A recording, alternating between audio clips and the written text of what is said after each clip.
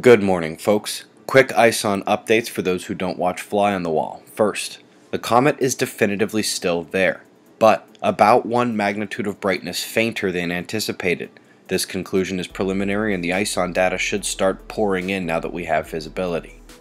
The Sumatra buoy kept deviating most of yesterday, but is taking a few hours off now.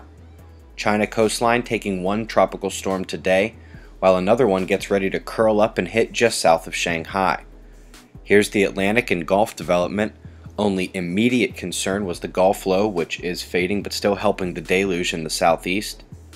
Anyone not sick of the same forecast here hasn't been here very long, storms sticking south, but be still my beating heart, low pressure over the large island. That corkscrewing cloud system is moving about as slowly as predicted. Luckily, it is slated to head south and further east by early in the week.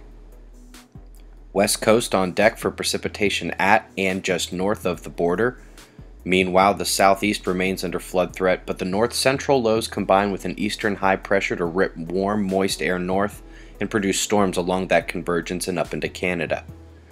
A multi peaked M class solar flare erupted from yesterday's Delta spot. We caught the radio blackout from the radiation while it was in progress, lasted for nearly 90 minutes. The flare was nowhere near the largest of this cycle, or even 2013, but the eruption is one of the most aesthetically impressive on the Earth facing disk. There is no doubt that the majority of ejecta is going to miss Earth as confirmed by the Enlil spiral from NASA, although they show a complete miss here. That wouldn't be terrible given that the particles were detected well in excess of 1,000 kilometers per second leaving the Sun.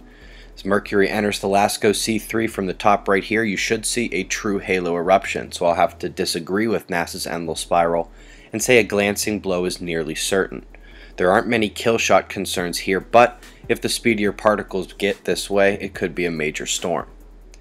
1824 in the middle is growing, but our focus is left and right this morning. The delta spot has decayed since the M flare and continues to do so. The incoming regions keep showing signs of potential but without delivering so far. Solar wind speed now coming back down under 600 kilometers per second with maintained density. The geomagnetic disturbance is over for now. Primary connectivity to the sun is just north of that eruption we had, protons already rising ahead of the CME arrival. Meanwhile, 9 of 10 subconnectivity points are in the red northern coronal hole leaving the Earth facing position, the next one is transequatorial and basically on our doorstep. Combine this with the end to a drought in significant planetary geometry and our quake watch remains around a 7 or 8. We did have a volcano erupt on the Kamchatka Peninsula in Russia yesterday.